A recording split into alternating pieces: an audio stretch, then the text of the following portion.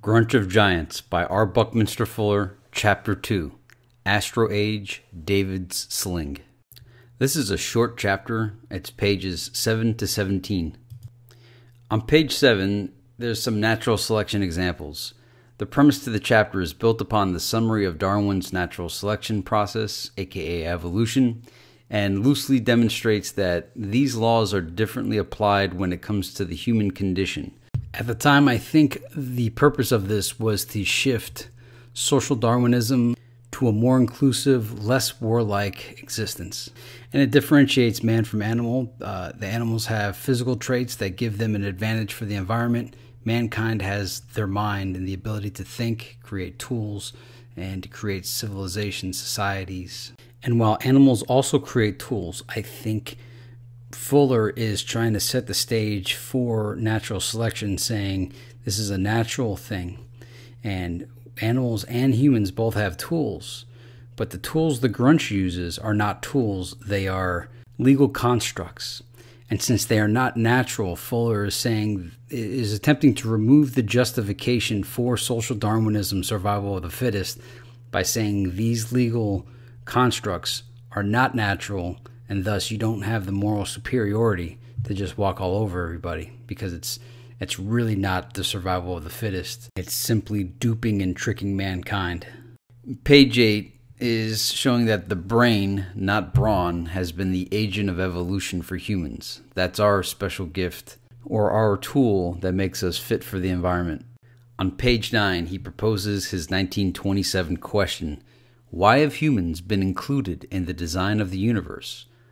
The non physical mind is mankind's unique advantage and gift and is capable of attempting to understand the cosmic design laws mathematically. Pages 10 through 12, he waxes philosophical and poem format of man's function in existence and concludes with these four reasons 1. Humans are local information harvesters. 2. Critical information winnowers. 3 generalized patterns and principles discoverers, and four, employing those principles objectively to serve as local universe problem solvers in support of the integrity of eternally regenerative only overlappingly inter episode scenario universe. Yeah, this is that bizarre language of the book that I had mentioned in previous sections. I mean, to be honest, this chapter for the agenda of why I'm using this, it doesn't have much. It seems like he's building a case, which I know in future chapters of like kind of setting the rules for nature, and then he's going to show that the giants are kind of not obeying the rules, kind of thing. So it, there's really nothing for me, from my point of doing this series, to report on from this chapter. I'm just kind of reporting and summarizing each page. And my agenda, of course, is to speak on the breakaway civilization and artificial scarcity. More glorification of the capabilities of mankind. 1895, humanity was 95% illiterate, and in 1983, mankind was 65% literate and capable of thinking, decision making, initiative taking. More discussion of genetic evolution, natural selection examples, as I said, it's not part of my agenda, but must have been neat to read at the time.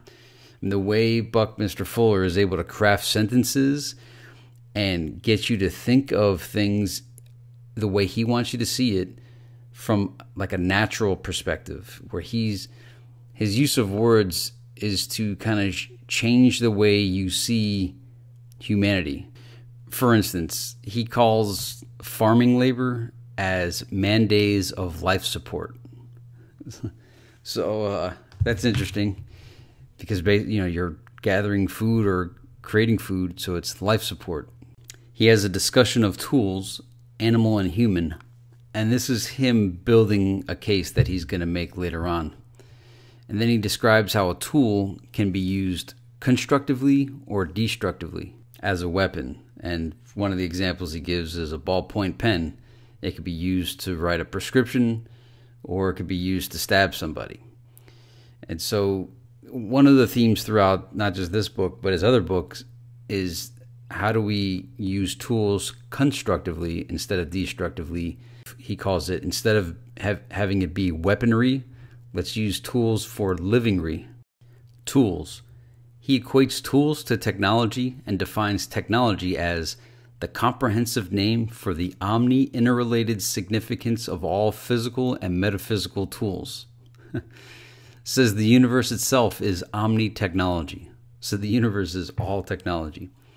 All tools exist in universe only as essential functional components of development programs of living organisms. And so he's building his case that all the tools have a positive development program for living organisms, things that assist instead of hurt. He then differentiates tools from man made laws and legal agreements. So we have tools, and then he shows what type of tool it is. So an airplane is a flying tool, hearing aids, permanent component, glasses, permanent component, ballpoint pens, writing tool or weapon Bridges are a social tool. Transcontinental highways, social tool. Mathematics, metaphysical tool. Nests, eggs, these are heat conserving environmental controlling tool. Spider webs, tool extension. The womb is a tool extension. Stones can be used in self defense, weapons, self defense, or aggressive warfare. That's so he differentiates between self defense and aggressive warfare. And again, this is to show tools and to define what a tool is. And the reason why he's building his case on what a tool is and defining it is because then he's going to show what is not a tool and what is not technology. So, man made laws, legal agreements, royal fiats, fiats, customs, corporations. These are conveniently accepted, power proclaimed legal contrivances. So, so, it's funny because as I read this, I was like, well, actually, these things are a tool to take from some and give to others. But in the next chapter, he'll he'll explain why that's not the case. But yeah, so man-made laws, legal agreements, royal fiats, fiats, customs, corporations. Uh, this is what are basically the techniques of the giants that the giants have used. But Bucky says these are not tools, these are not technology. And then he goes on to explain craft tools and industrial tools. Now, craft tool is what one person would use as a tool. An industrial tool is what many people use to create something. So, for instance, a ship is an industrial tool. Like not one person doesn't create a ship. It takes many craftsmen to create a ship because there's many parts to the ship that have to be created and it takes many craftsmen to operate the ship. And it doesn't have to be a craftsman, it could be a shipman, uh, all you know, he differentiates between all the different types of of of masters. And that but but it takes many skilled people to operate something. And that's what an industrial tool is. David and the Goliath. Brain mastered brawn, mind mastered brain, metaphysical mastering the physical. The Grunch of Giants, supranational corporate conglomerates, greatest giants in all of history, invisible, rough riding planet Earth. You can see their skyscrapers and factories, but these are only the physical properties occupied by the human drone workers employed by the elusively invisible corporate conglomerates. One of the he keeps calling these the invisible empire, the the, the grunch of giants, and uh, that they're non-human, non non-visible. So yeah, so this chapter was David and the Astro Sling, and it's a play on David and the Goliath. The theme here is brain over brawn, which, you know, these were obviously these are old, centuries old, millennium old thoughts, and it's just being brought back. And this chapter, again, for the time period, was probably really impressive language wise. And one of Fuller's contributions is, you know, seeing the way nature operates and trying to find ways to make that into human construction of our tools how they could be how they could work with the environment saying that the tools that animals have or the creatures of the earth have are consistent with the environment for the most part. And they found creative ways, like they're natural engineers. So if we look at how they've engineered their tools, we learn on how to build ourselves some pretty good tools as well. And also promoting the idea of cooperation. You know, this is an an obvious thing in our present day, but I think at one point cooperating, sharing, you know, it, before it was every man for himself, social Darwinism, and it was just understood, you know, every man for himself.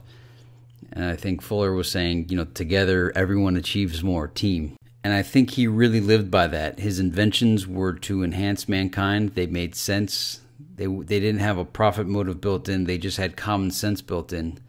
Um, they all didn't work that good, but you know there was a lot of this, a lot of the ideas and a lot of the contributions he had were just to make sound design, sound engineering to help mankind and not extract wealth from mankind. That's what the Grunch of Giants is for.